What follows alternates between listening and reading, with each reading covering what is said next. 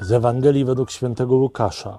Uczniowie Jana często poszczą i modlą się, podobnie i uczniowie faryzeuszów. Twoi zaś jedzą i piją. Myśleli, że mają wobec Jezusa i jego uczniów bardzo poważny zarzut. Ten zarzut wynika w ich oczach z porównywania, a porównywanie to jest zły duch. I dlatego się bardzo zawiedli, bo Jezus e, z ich zarzutu uczynił e, dowód na mądrość uczniów.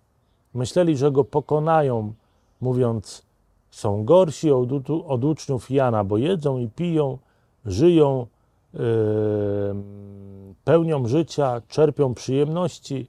Tymczasem uczniowie Jana to prawdziwi asceci, umieją się zachowywać pobożnie. A Jezus nawet z tego zarzutu, zarzutu czyni pochwałę uczniów. Rozumieją, że spotkali Pana młodego i że są na weselu.